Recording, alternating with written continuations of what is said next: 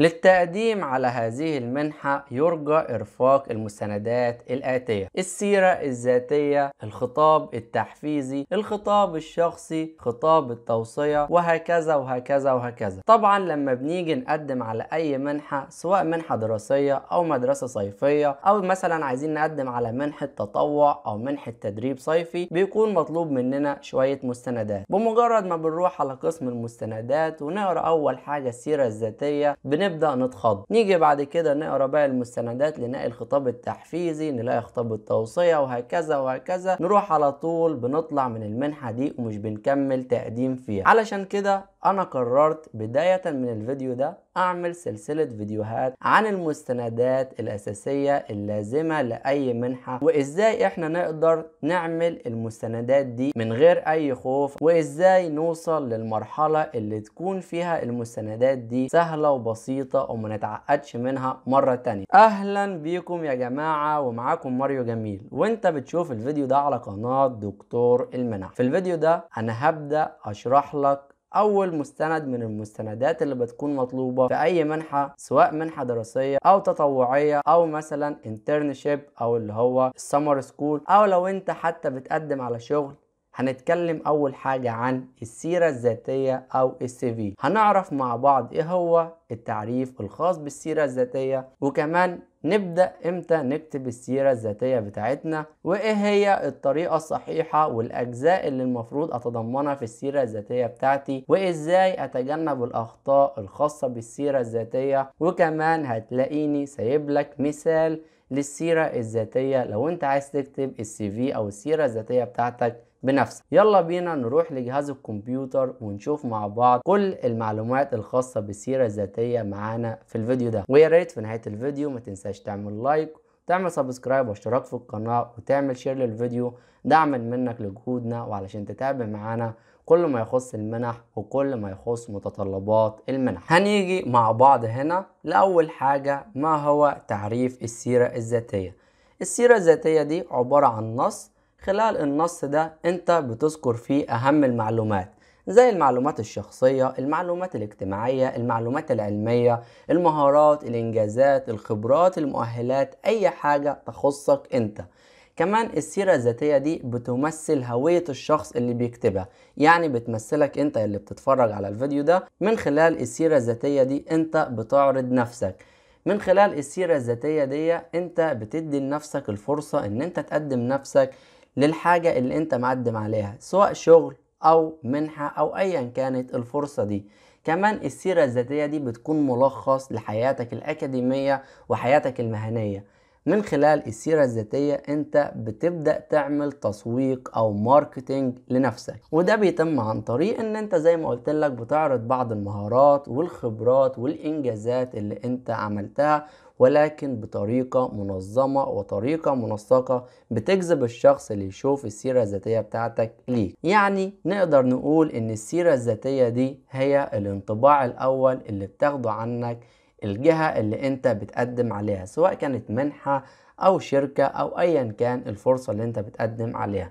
طيب إمتى أكتب السيرة الذاتية بتاعتي؟ لو انت طالب في الثانوية العامة بتتفرج على الفيديو ده فانت لازم تكتب السيرة الذاتية بتاعتك بداية من الثانوية العامة أو اللي اسمها البكالوريا بالنسبة للناس اللي بتتابعنا من دول تانية. طيب لو انت دلوقتي في الجامعة وعدت عليك المرحلة الثانوية وبتتفرج على الفيديو ده دلوقتي فانت لازم تبدأ تكتب السيرة الذاتية بتاعتك من دلوقتي. ليه أبدأ أكتب السيرة الذاتية بتاعتي من دلوقتي؟ لأن انت لما تيجي تعمل كده فايل لنفسك أو مستند يخص السيرة الذاتية لنفسك أي إنجاز أنت بدأت تعمله لازم تروح تسجل الإنجاز ده في السيرة الذاتية بتاعتك سواء كان إنجاز علمي سواء كان تدريب سواء كان تطوع أو كورس حصلت عليه لازم تروح تسجله في السي في بتاعك وما تنساش تكتب الشهر والتاريخ اللي أنت حصلت فيه على الإنجاز ده وكل ده إحنا هنشرحه مع بعض في الفيديو بتاعنا. طيب إيه هي الطريقة الصحيحة لكتابة السيرة الذاتية؟ وإيه هي أهم الأجزاء اللي أنا لازم أتضمنها في السيرة الذاتية بتاعتي؟ أول حاجة هتكون معانا هي المعلومات الاجتماعية. طيب المعلومات الاجتماعية دي أو باسم تاني المعلومات الشخصية اللي هي ال personal information دي لازم تتضمن اسمك بالكامل الاسم رباعي ويتكتب بطريقة صحيحة تاريخ ميلادك الجندر بتاعك سواء ذكر أم أنثى والجنسية بتاعتك ومكان الميلاد والحالة الاجتماعية وكمان صورة شخصية حديثة بخلفية بيضاء لازم تكون الصورة بتاعتك formal لازم الصورة الظهرية بتاعتها يكون لون أبيض أو الخلفية بتاعتها بلون أبيض. ما ينفعش تكون بأي ألوان لأن أنت بتعمل CV professional تقدمه في منحة أو تقدمه في شغل. ما ينفعش يكون الظهرية ألوان. وطبعا الصورة الشخصية دي بتكون على حسب الطلب. بعض الأماكن بتطلب منك صورة شخصية والبعض الآخر مش بيطلب منك صورة شخصية. تاني حاجة لازم تتضمنها في ال CV بتاعك وهي العنوان والعنوان بتاعك ده لازم تكتب فيه ثلاث حاجات أساسية. أول حاجة عنوان إقامتك المكان اللي أنت عايش فيه حاليا رقم الشارع اسم الشارع المدينة المحافظة الدولة. لازم تكتب رقم التليفون بتاعك وتخلي بالك إن رقم التليفون ده تكون أنت بتستعمله عشان لما يتواصلوا معاك عن طريق رقم التليفون تقدر تتواصل معاهم وكمان الإيميل بتاعك أو البريد الإلكتروني. وده شيء أساسي إن أنت تكتبه في السي في بتاعك علشان أغلب المنح دلوقتي بيتواصلوا مع الطالب عن طريق البريد الإلكتروني تأكد إن هو بريد إلكتروني يكون شغال بتقدر تدخل عليه بتشوف كل الرسائل وكمان يكون بريد إلكتروني professional ما يكونش فيه الأسامي اللي هي بتكون مثلا لولو ومش عارف إيه لأ لازم يكون إيميل professional فيه اسمك واسمك الرابع اسمك واسم والدك المهم إن هو يكون اسم وممكن يحتوي على رقم أو اتنين مفيش أي مشكلة أهم حاجة يكون إيميل professional طيب تالت حاجة هي المعلومات الأكاديمية أو التعليم وفي الجزء ده أنت لازم تذكر جميع المراحل الدراسية اللي أنت عديت عليها. يعني مثلا تكتب معلومات عن المدرسة الثانوية العامة بتاعتك وكمان تكتب تاريخ التحاقك بالمدرسة دي وتاريخ التخرج من المدرسة دي وكمان تكتب الدرجة اللي أنت حصلت عليها في المرحلة الثانوية بتاعتك. كمان لو أنت في جامعة بتبدأ تكتب اسم الجامعة بتاعتك بتبدأ برضو تكتب ال major أو التخصص أو الكلية اللي أنت فيها في الجامعة دي. أنت التحقت بالجامعة دي إمتى وإمتى هتتخرج من الجامعة دي أو تاريخ المتوقع للتخرج من الجامعة دي؟ كمان تكتب المجموع أو ال GPA بتاعك الخاص بالكلية بتاعتك. وكل ده برضه هنعرفه بمثال عملي بعد ما نخلص الشرح. طيب بالنسبة للجزء الرابع وهي الخبرات أو ال experience أنت في الجزء ده لازم تعرض الخبرات اللي أنت اكتسبتها. سواء خبرات انت اخدت منها شهادات أو ما اخدتش منها شهادات طالما انت خبرة وانت عندك الخبرة دي وتعرف في الحاجة دي انت بتبدأ تحطها في ال CV. لو انت رحت اتدربت في أي شركة أو أي مصنع أو أي مكتب بتبدأ تكتب إن انت اتدربت في المكان ده وبتكتب ال position بتاعك. يعني انت كان دورك إيه في التدريب ده؟ وبتبدأ تكتب له انت رحت تبدأ تدريب إمتى وامتى انت انتهيت من التدريب ده. طبعا انت بتكتب شهر وبتكتب سنة. ويفضل وانت بتكتب الخبرات بتاعتك تكتبهم من الحديث للقديم يعني حاجة عملتها في شهر 8 سنة 2019 وحاجة عملتها في شهر مايو سنة 2019 فانت الأول هتبدأ تكتب الحاجة اللي انت عملتها في الشهر مثلا أغسطس أو 8 2019 وبعد كده تبدأ تكتب تحتيها الحاجة اللي انت عملتها في شهر مايو 2019 يعني من الأحدث للأقدم للأقدم منه وهكذا. طيب الحاجة الخامسة في السي في بتاعك هو التطوع. مفيش أي منحة دراسية دلوقتي أو أي منحة بشكل عام أو حتى شغل مش بيطلب منك إن أنت ما يكونش عندك عمل تطوعي. لازم يكون عندك عمل تطوعي بشكل أساسي. وطبعا أنت بتبدأ برضو تعرض في الأعمال التطوعية بتاعتك. أنت كنت في منظمة إيه أو كنت بتتطوع في مؤسسة إيه؟ إيه هو ال position أو ال role بتاعك؟ وبتبدأ أنت إمتى التحقت بالمؤسسة دي؟ وإمتى أنت انتهيت من المؤسسة دي؟ أو لو أنت لسه في المؤسسة دي بتكتب له إن أنت لسه فيها يعني بتكتب until now ده كله أنت بتتضمنه في السي في بتاعك. سادس حاجة هنيجي ليها في السي في بتاعنا وهي الشهادات. لازم تذكر جميع الشهادات اللي أنت حصلت عليها. في الجزء الخاص بالخبرات لو أنت عندك خبرة في حاجة مش معاك شهادة ليها انت بتذكر الحاجة دي اللي انت ليك خبرة فيها. في جزء الشهادات انت بتبدأ تكتب كل الشهادات اللي انت حصلت عليها. حتى شهادات الكورسات اللي انت أخدتها بتبدأ تكتب الشهادات اللي انت حصلت عليها في الكورسات دي. وزي ما قلت لك بكرر تاني بتكتب اسم الكورس وممكن تكتب اسم المكان اللي انت أخدت منه الكورس ده وهتكتب التاريخ اللي انت أخدت فيه الكورس ده. بعد كده هتيجي في الجزء السابع وهو المهارات. في جزء المهارات ده انت لازم تتضمن كل المهارات اللي انت اكتسبتها. يعني مثلا مهارات المتعلقة بالكمبيوتر على سبيل المثال أو مثلا مهارات اللي هو اللغة ال English ال Arabic أو مثلا لو انت معاك لغة إسباني لغة إنجليزية ألمانية جميع اللغات اللي انت بتعرفها لازم تتضمنها في جزء المهارات تحت field ال language أو اللي هو اللغة. وكمان برضو لازم تذكر مهارات التواصل مع الآخرين ال communication skills أو ال leadership skills اللي هي مهارات القيادة. يعني بشكل عام إحنا بنطلق عليها مصطلح ال soft skills طيب كل ده انت لازم تتضمنه في جزء المهارات. يعني مثلا بتيجي في ال computer skills بتكتب مثلا Word اللي هو برنامج ال Word أو Microsoft Office Word بتكتب انت ال level بتاعك إيه مثلا excellent أو very good or good or poor. فانت بتبدأ تتضمن له الحاجات دي. هكذا مع اللغة. مثلا Arabic هو native language بالنسبة لك فانت بتكتب native. ال English بتشوف انت ال level بتاعك إيه مثلا excellent or very good. ده كله إحنا هنعرفه مع بعض من خلال المثال اللي أنا هشرح لك عليه. طيب بعد كده هتكتب الهوايات وفي جزء الهوايات دي انت بتذكر له الحاجات اللي انت interested in يعني انت مهتم بإيه؟ مثلا مهتم بحاجات تخص الرياضة مهتم بالقراءة مهتم بالاستماع دي كلها حاجات انت بتذكرها. في بعض الناس بتقولك ان انت غلط ان انت تكتب الهوايات بتاعتك في ال CV ولكن دلوقتي الهوايات بتكون مطلوبة منك. لو فتحت application أي منحة بتلاقيه كاتب لك كده interests بتلاقيه كاتب لك ال hobbies فأنت لازم تتضمن له برضو الحاجات اللي تخصك من ناحية الهوايات. طيب بعد كده هنا في ملحوظات هامة جدا. زي ما قلت لك لما تيجي تكتب الإنجازات بتاعتك التدريبات الاعمال التطوعيه أي حاجة لازم تكتبها من الحديث للقديم. حتى الشهادات اللي حصلت عليها تكتبها من الحديث للقديم. ولازم تكون لغة السي في بتاعك أو السيرة الذاتية بتاعتك باللغة الإنجليزية. ده لازم بشكل أساسي. حتى لو هتقدم في مصر أو بره مصر لازم تكون بتكتب السيرة الذاتية بتاعتك باللغة الإنجليزية. طيب بعد كده هنيجي هنا لبعض المعلومات الهامة اللي أنت لازم تتبعها. لما تيجي تكتب السيرة الذاتية بتاعتك لازم تكون مكتوبة بطريقة منظمة بأسلوب واضح وبسيط علشان تسهل على اللي قدامك إن أنت تقول له كل المعلومات بتاعتك بصورة بسيطة جدا. كمان لازم تكتب بشكل مختصر يعني ما تقعدش تفصل كتير في الحاجات اللي انت عملتها في السي في لازم تكتب بالشكل اللي إحنا شرحناه. كمان لازم السيرة الذاتية بتاعتك تكون مكونة من صفحة أو صفحتين لو أنت حديث التخرج يفضل إن هي تكون صفحة صفحة ونص أو صفحتين. ما نقعدش نكتب حاجات كتير كتير وهي مش عندنا.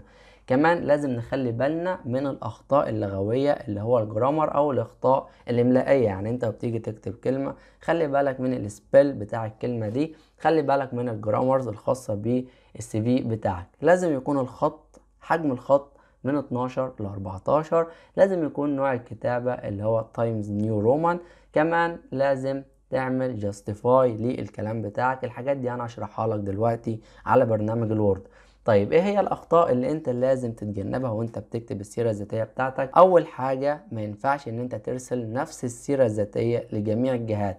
تبعتها المنحة في ألمانيا على تبعتها في منحة في فرنسا على تبعتها في الشركة دي اللي هي تبع مثلا كمبيوتر على شركة تبع سيارات. تبعت لهم سيرة ذاتية واحدة ده غلط. لازم تشوف الجهة اللي أنت بتبعت لها السيرة الذاتية وتحدد السيرة الذاتية بتاعتك على حسب الفرصة اللي أنت بتقدم عليها. كمان لما تيجي تكتب السيرة الذاتية بتاعتك أو ال CV ما ينفعش بقى تحط له لون أحمر ولون أخضر ولون أزرق ومش عارف إيه ودواير والأشكال. ده كله غلط. لازم تكتب السيرة الذاتية بتاعتك باللون الأسود لأن ده هو ال professional أو السيرة الذاتية الصحيحة اللي بتكون مطلوبة في أي حاجة. كمان ما تنساش لما تيجي تبعت السيرة الذاتية بتاعتك في الإيميل يا ريت لو سمحت تكتب cover letter وال cover letter ده بيتكون من أربع أو خمس سطور بيشرح فيه أهم الحاجات اللي أنت عايز ترسلها للفرصة دي أو للشركة دي إن أنت مهتم بالمجال اللي عندهم. المجال ده هيفيدك في إيه؟ لازم تعمل لهم cover letter ما ينفعش تبعت السيرة الذاتية كده خلاص لأن ال cover letter ده هو اللي هيجذب ال HR ليك وهيخليه يضطر إن هو يفتح السيرة الذاتية بتاعتك. طيب هنيجي مع بعض هنا أنا هنا سايب لك مثال أو form خاص بالسيره الذاتية. هبدأ أشرح لك من عليه دلوقتي واوري لك كل الكلام اللي إحنا قلناه هنا عملي. كمان لو أنت بتواجه أي صعوبة في السيرة الذاتية أو بتواجه أي صعوبة في التقديم على أي منحة فأنت يمكنك تجهيز جميع الأوراق أو كمان تقدم على أي منحة دراسية من خلال قناة دكتور المنح. عن طريق ال application واللي بتلاقي ال link بتاعه موجود في ال description أسفل الفيديو. أنت بتملى ال application خاص بينا وإحنا بنتواصل معاك مباشرة. كمان لو عايز تشترك في جروباتنا على الفيسبوك والواتساب والتليجرام فأنا هنا سايب لك ال link في ال website الخاص بينا أو بتلاقيه موجود ال link الخاص بجروباتنا في صندوق الوصف أسفل الفيديو ده. طيب دلوقتي هنيجي نضغط مع بعض على السيرة الذاتية اللي أنا عامل لك عليها. example هنا هيتحمل معاك على الكمبيوتر أو اللابتوب بتاعك أو الموبايل ال form أو ال PDF اللي إحنا هنشوفه ده. طبعا ده سيرة ذاتية تم إعدادها بواسطة قناة دكتور المنح. طبعا أنا زي ما قلت لك أول حاجة بتكتب المعلومات الشخصية ال personal information بتكتب اسمك تاريخ ميلادك الجندر ذكر ام انثى مكان الميلاد وبتكتب هنا الجنسية بتاعتك وهنا الحالة الاجتماعية. هنا بتحط صورة ليك بعد كده هنا ال contact details بتكتب عنوانك الإيميل بتاعك رقم تليفونك. بعد كده هنا بتيجي في الجزء الخاص بال educational background ال academic background اللي هي الناحية التعليمية. بتكتب اسم المدرسة اللي انت كنت فيها أو اسم الجامعة التخصص اللي انت فيه. بتكتب انت التحقت إمتى بالجامعة دي وامتى انت انتهيت من الجامعة دي. وكمان بتكتب الدرجات اللي حصلت عليها في الجزء الخاص بال experiences اللي هي الخبرات بتكتب انت أخدت خبرة في أي مكان لو كان تدريب بتكتب اسم التدريب أو اسم الشركة اللي انت اتدربت فيها ال position بتاعك وانت بدأت في الشركة دي إمتى وانتهيت من الشركة دي إمتى. برضو نفس الكلام مع الأعمال التطوعية برضو مع الشهادات اللي انت حصلت عليها. ما تنساش ان انت بتكتب من الحديث للقديم. بعد كده هنا انت بتيجي في الجزء الخاص بال skills زي ما قلت لك ال skills زي ال computer skills أو ال languages أو اللي هو مثلا leadership skills ال soft skills بشكل عام. انت هنا مثلا في ال computer skills بتكتب مثلا أحد البرامج زي ال Word انت بتكتب ال level بتاعك في إيه وهكذا. وبرده بالنسبة لل languages أو اللغات مثلا اللغة العربية إحنا بنتكلم اللغة العربية native فإحنا هنا مثلا بنكتب native أو mother tongue وات انت عايز تكتب إيه. تيجي هنا بتكتب اللغات اللي انت تعرفها مثلا English excellent مثلا أنا بتكلم روسي اللي هو مثلا good فأنا هنا بكتب good لو انت بتتكلم أي لغة تاني مثلا بادئ بتكتب beginner وهكذا. بعد كده في الجزء الخاص بال interests هنا انت بتبدأ تكتب الحاجات اللي انت interested in فيها أو اللي هو مثلا انت مهتم بإيه إيه هي الهوايات بتاعتك القراءة الرياضة وهكذا. طبعا أنا قلت لك على شوية التعديلات اللي انت المفروض تعملها وانت بتعمل السيرة الذاتية بتاعتك. تعال نفتح ملف ال Word ده مع بعض. انت مثلا عايز تختار نوع الخط الخاص بالكتابة فانت بتيجي مثلا تحدد أي حاجة من دول مثلا date of birth بتيجي هنا معايا عند أنواع الخطوط بتفتح السهم وبتيجي هنا تدور على الجزء الخاص بيه اللي هو Times New Romans بتبدأ تختار Times New Romans وهو بيطلع معاك شكل الخط ده. لو أنت عايز تغير طبعا حجم الخط فأنت بتختار هنا أدي الحجم عندك 14 أو 12 على حسب أنت عايز تختار إيه.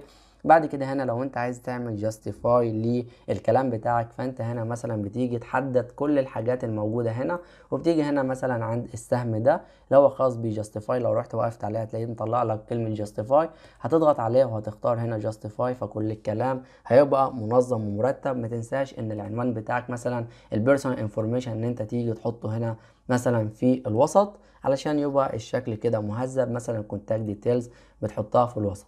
وبكده أنا أكون خلصت شرح أو طريقة كتابة السيرة الذاتية بشكل صحيح بشكل أكاديمي بشكل احترافي بالشكل ال professional المطلوب منك في أي منحة أو أي فرصة أنت بتقدم عليها. ما تنساش تشاركني برأيك في الكومنتات ويا ريت لو أي حد عنده أي استفسار أو أي سؤال ممكن سيبه في الكومنتات وإحنا هنرد عليه. ويا ريت في نهاية الفيديو ما تنساش تعمل like تعمل subscribe واشتراك في القناة وتفعل الجرس وتشير الفيديو مع الآخرين علشان تعم المعرفة على الكل ودعما منك للجهود اللي بنحاول نقدمها. وشكرا.